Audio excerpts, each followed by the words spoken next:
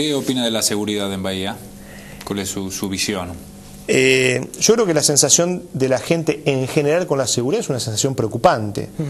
Ahora, habría que eh, ver si esa sensación eh, se puede trasladar específicamente a Bahía Blanca con la misma intensidad o dimensión.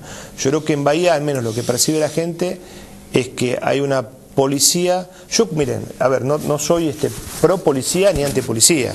Cuando tuve que decir que hubo zona liberada, lo dije públicamente.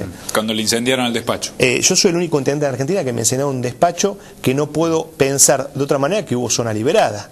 Digo, este, lo dije públicamente, lo discutí en su momento con el, el gobernador de la provincia de Buenos Aires, entonces gobernador. Sí. Se Digo, insultaron, o lo insultó bueno, Solá. por Sí, ese bueno, no, fue recíproco, debo reconocer. Ah. Pero, ¿Qué le dijo usted? Dígalo, No, ahora no ya está. No importa. Lo mandó a pasear.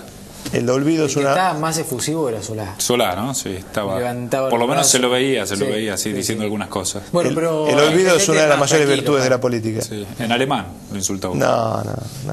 Pero digo, me parece que la policía ha pegado un giro. Eh, hoy hay, concretamente, uno es difícil hablar de estadísticas, pero porque a veces los números usan este, Sí, o para un lado, para otro. uno La- gente se marea con y además la gente no se le dar una respuesta con estadísticas, pero es cierto que hay mil detenidos más que el año pasado en Bahía Blanca, uno ve que hay tres eh, veces más móviles que antes, van a venir 40 motos, veo otra actitud policial, yo veo en el Van a venir las cámaras. van a ver las, las cámaras. Estamos en lucha, digamos, no, no solamente estamos preocupados, sino que estamos ocupados y estamos trabajando eh, directamente con los jefes policiales para por lo menos poner todo el esfuerzo de alcance para eh, prevenir y para perseguir a los delincuentes. Hay un aspecto que es la justicia que hay que Sí. corregir en algunos espacios, no quiero generalizar. Hay un tema legislativo con los menores. Sí. Eh, a propósito, bueno. eh, la gente por ahí se, se debe preguntar, eh, el- usted más o menos escuchó lo que pasó en el bloque anterior, con, la, con la mamá del chico, Sí. bueno, más o menos. ¿Qué, ¿Puede hacer algo la municipalidad con el tema de los menores?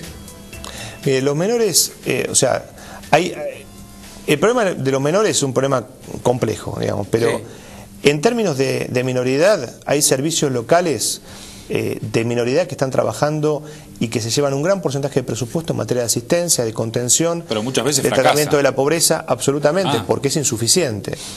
No es la Eh, primera vez esta escuela- mujer dijo que fue, acudió allí y no le dieron ninguna respuesta. Bueno, el chico ahora se convirtió en un... Sí, a ver, yo quiero, poner este, este- Sí. esta bisagra. Mi abuelo le aseguro que era muy pobre, se lo aseguro, ¿eh? porque tuvo 11 hijos y vivía en un piso de tierra que lo limpiaban con bolsa de arpillera relatado por mi padre, mi abuelo paterno. Mi abuelo materno le podría describir situaciones similares, como muchos de ustedes. La pobreza no genera el delito, sí la crisis de valores Claro. que algunas eh, que la pobreza podría puede generar. Aquí lo que hay es un quiebre de valores, porque si no nuestros abuelos no hubiesen generado este país como lo hicieron.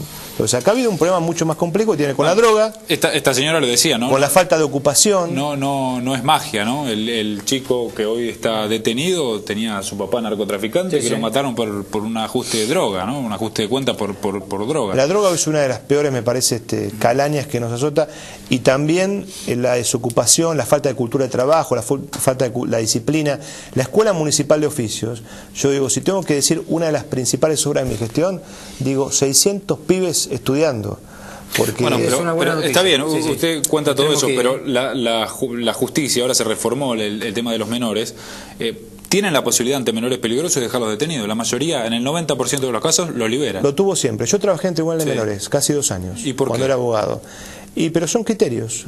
Con, este, son criterios que a veces, eh, como el académico piensa en un gabinete, a veces un, un magistrado, con todo respeto, pues yo fui integré el Poder Judicial, eh, a veces se desvincula de los problemas de afuera, como los políticos se desvinculan de los problemas de realidad. Están en una burbuja. Y sí,